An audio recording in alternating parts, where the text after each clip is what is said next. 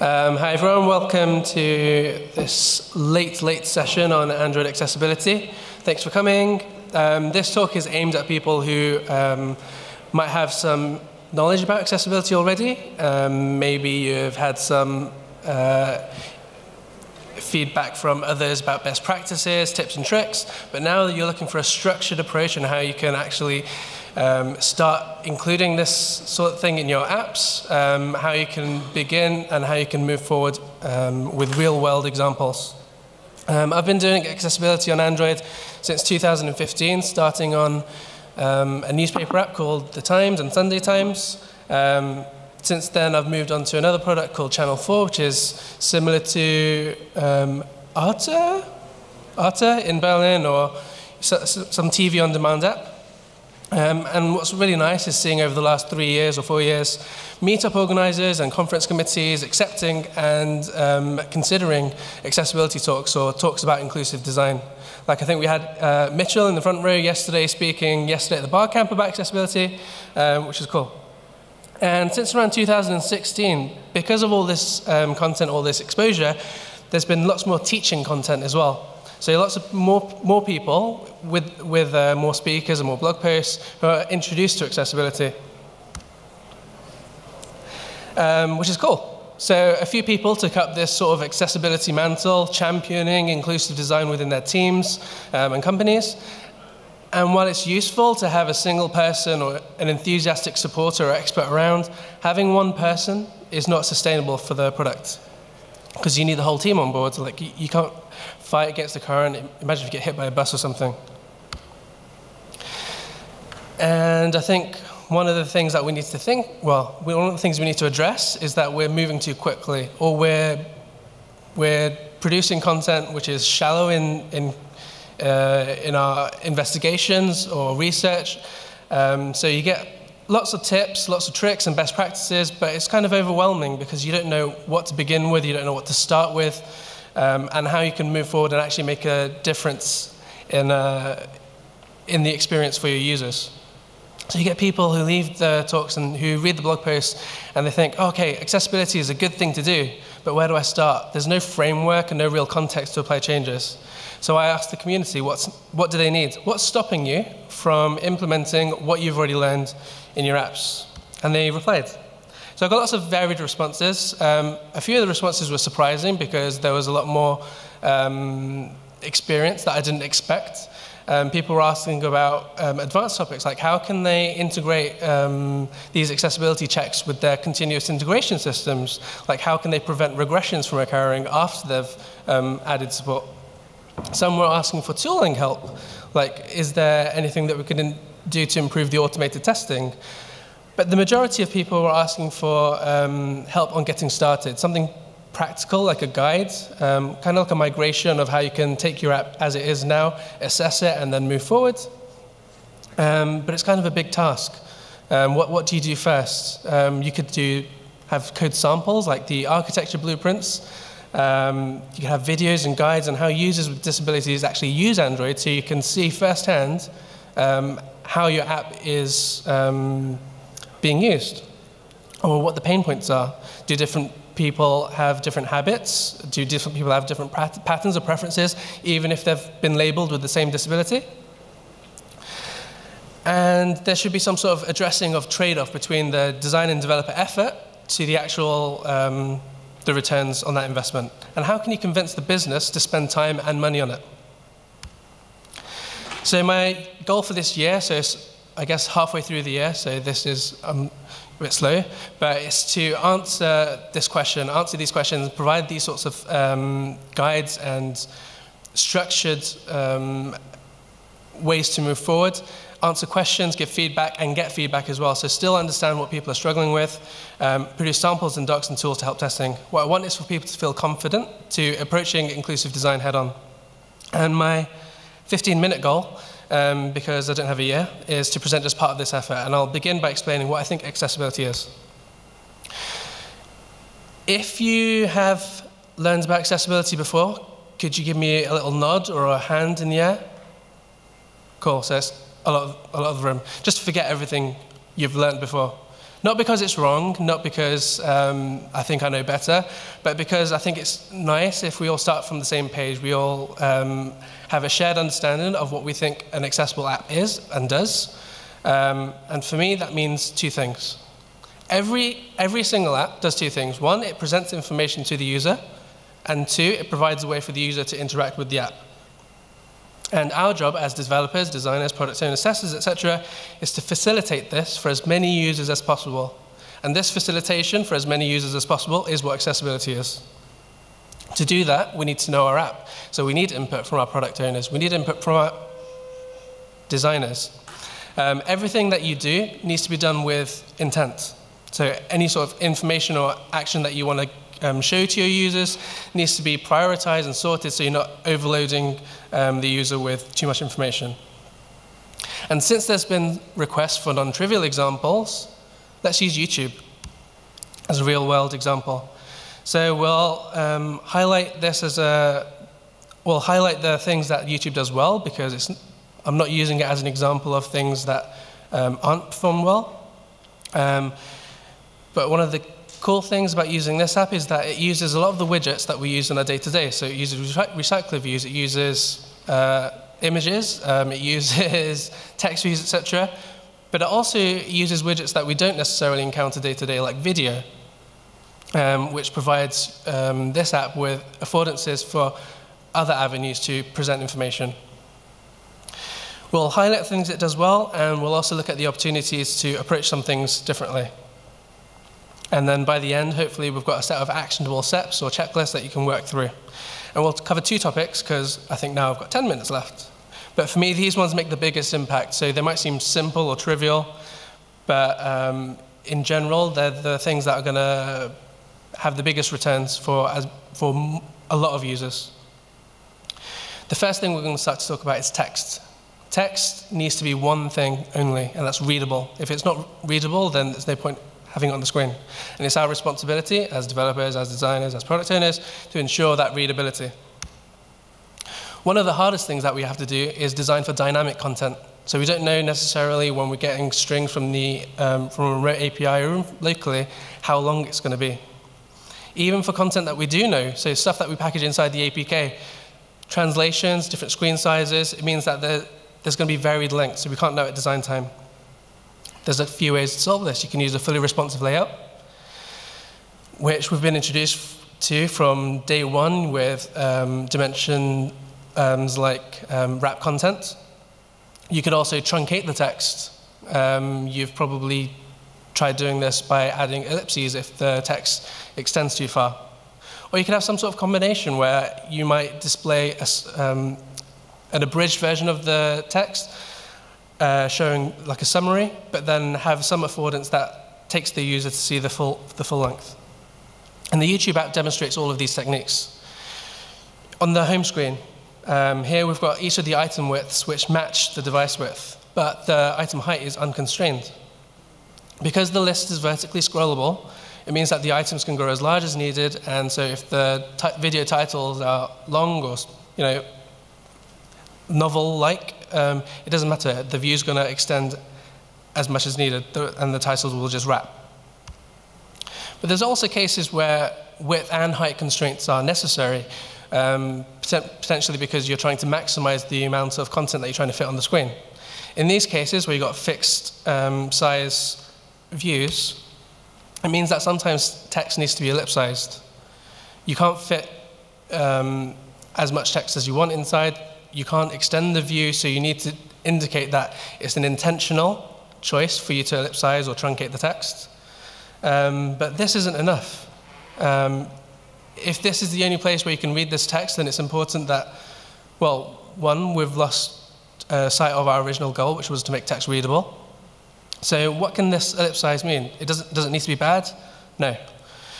Ellipses can serve as a subtle call to action um, some, sort of like a click here for the full story. So when you click on the, the text, the ellipsized text in the uh, video list, it takes you to the video detail where you can expand or you can see the video titles in full. You can expand to see the um, descriptions as well. The descriptions, so I don't know how often people are surfing on YouTube, but people like to fill out the descriptions a lot. Like the platform is for video, but people like to write a lot. In this example, the user needs to click on the title to see expanded content. Um, but it's not only the descriptions that are made visible, um, the subscriber and the views format changes. So things aren't abbreviated anymore. You can see things in a long form content. But you still need to be careful. Even in the cases where um, you've got more space, remember to check for the cases where text might be unintentionally cut off. In this case, where we're ellipsizing the um, subscriber count, the, the information here is important, but not necessarily when you click through to the next, the next page, of the video um, details page. Here, maybe we could have done wrap content instead, and if you're lucky enough to have 5 million subscribers, um, then maybe it's okay for the subscribers word to be on the next line. And sometimes it's better to hide these elements entirely rather than to show them partially obscured. The good news is, if you can handle this sort of varying text length already, the next step is easy. The next step is about um, supporting uh, different font scales. So you, you should use scale-dependent pixel, so SPs, where, where this unit is useful.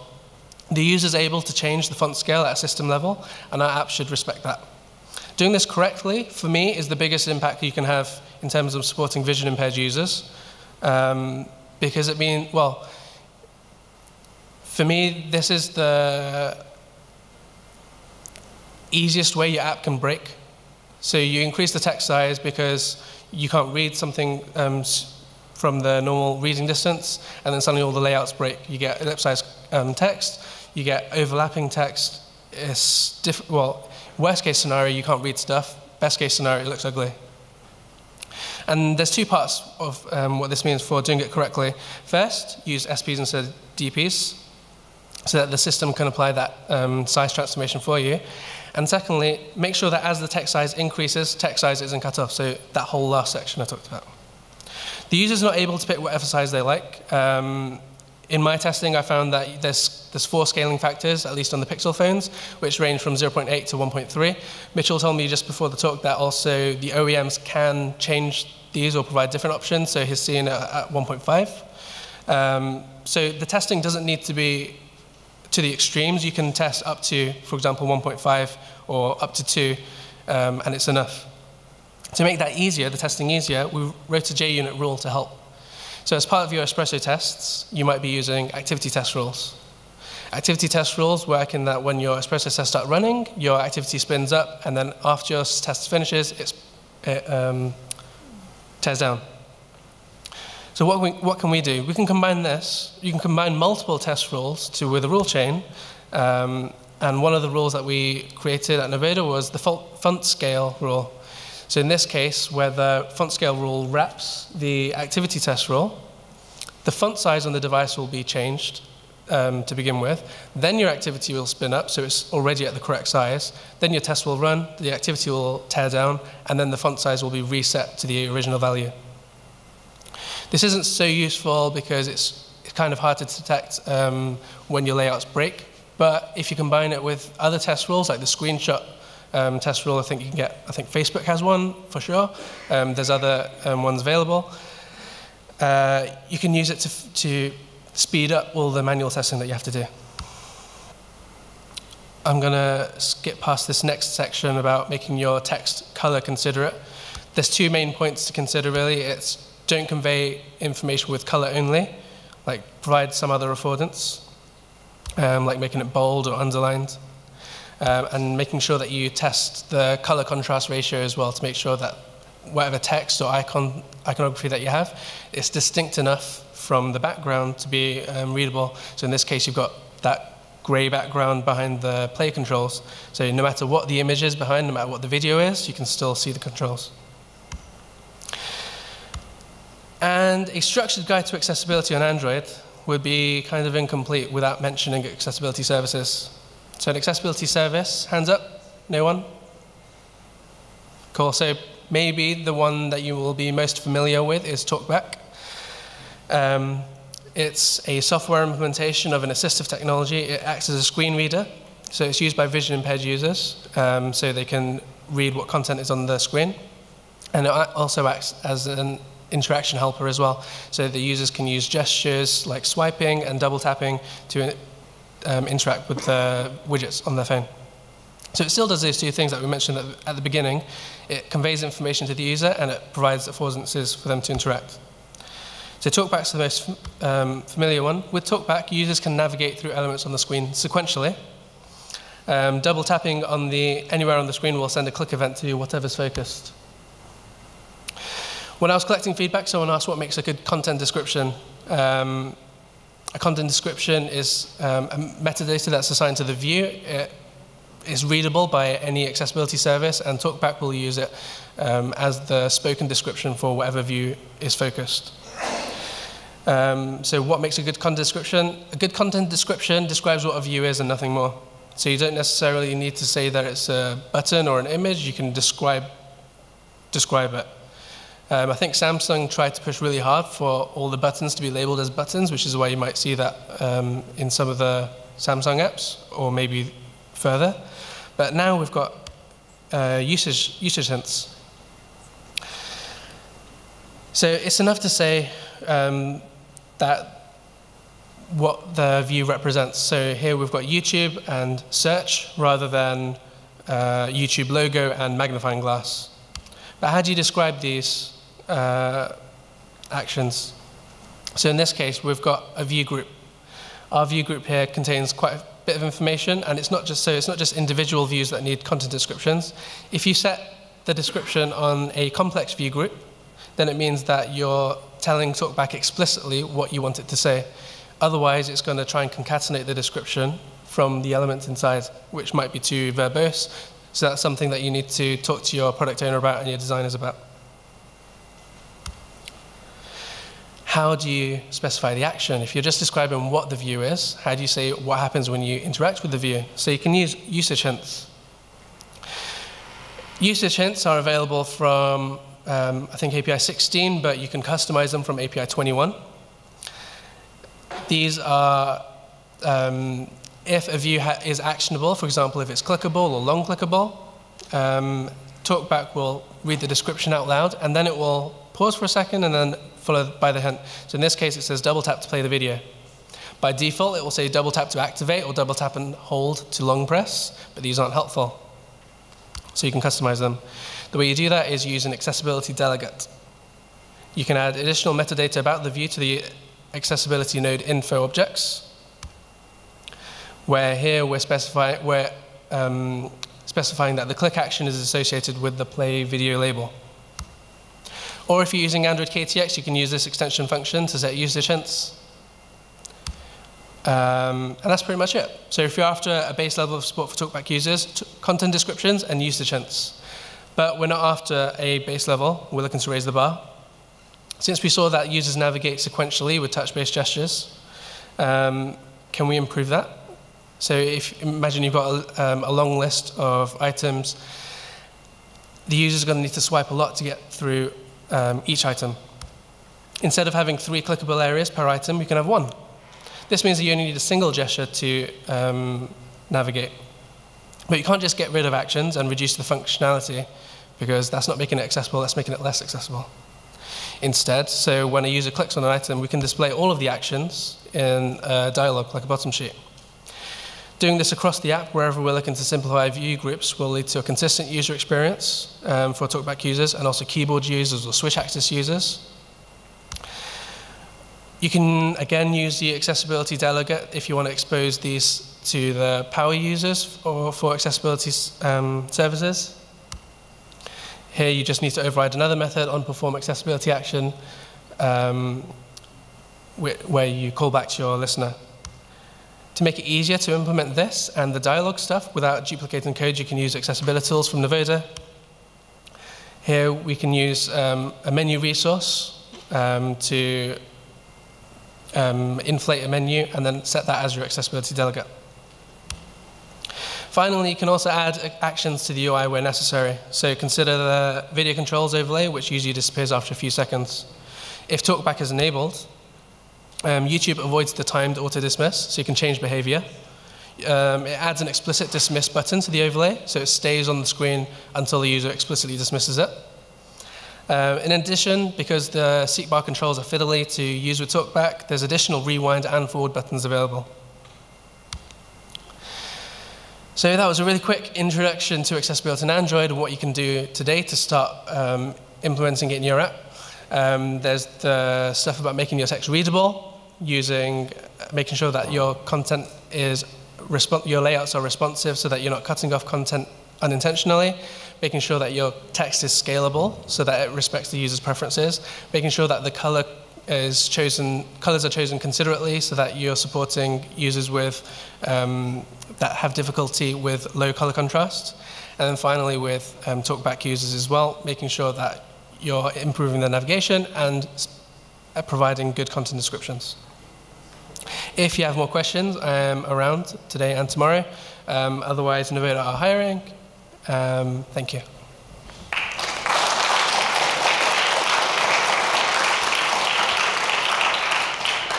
Thank you, Ataul. We have five minutes for questions. You have two microphones in the middle. Or you can ping me directly outside anywhere. Someone found my email somewhere, so they did that. That's okay as well. Cool, thank you.